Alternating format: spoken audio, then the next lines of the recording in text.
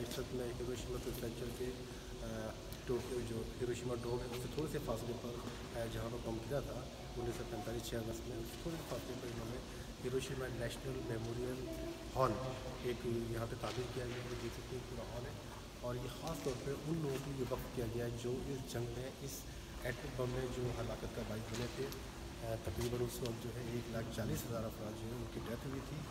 और यहाँ पर ये ऊपर देखने की ये हॉल है ख़ास तौर पर इस पूरे पूरे शहर की, पूरे जो हिरोशिमा सिटी जो है इसके हर इलाके की तस्वीर ली गई है। हर इलाके की तस्वीर लेने के बाद उसके नीचे उसकी उसकी डिटेल लिखी हुई है कि ये कौन सा इलाका है, ये कौन सा इलाका है। मिसाल के तौर पर आप इधर आए। तो ये ही जी या माची मतलब मिसाल के तौर पर ये निशी निशी से से या माची है। और इसके नीचे, इस इलाके में जो लोग रहते थे, उनके नाम जो इनका अवेलेबल है, वो लिखे गए तो ये पूरा एक, और ये मेमोरियल हॉल जो बनाया है पीस मेमोरियल हॉल इसमें पूरी दुनिया भर से लोग दस आते हैं। लेकिन इसका कोई एडमिशन फ़ीस नहीं है। बिल्कुल फ्री है।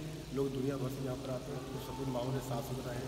और लोग आते हैं, याद करते हैं, अकीदत की फूल चढ़ाते हैं लोगों को, जो यहाँ पर जो जो जंग में जो काम हुए, काम आए हैं, वो लोग अकीदत के फूल चढ़ाते हैं।